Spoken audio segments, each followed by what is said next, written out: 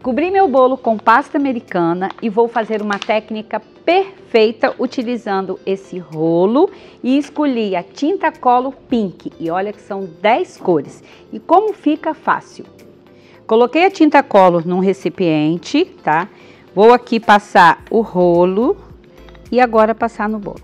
Somente isso. E aí você vai escolher as melhores posições que deseja fazer no seu bolo. Assim como eu escolhi o pink, você pode estar fazendo essa técnica de diversas cores. E olha que temos 10 cores de tinta cola. Agora eu vou concluir meu trabalho. Então, ó, fazendo várias riscas aqui do jeito que vocês quiserem, da maneira que achar que fica mais bonito, mais elaborado. E estou usando aqui tinta color preta.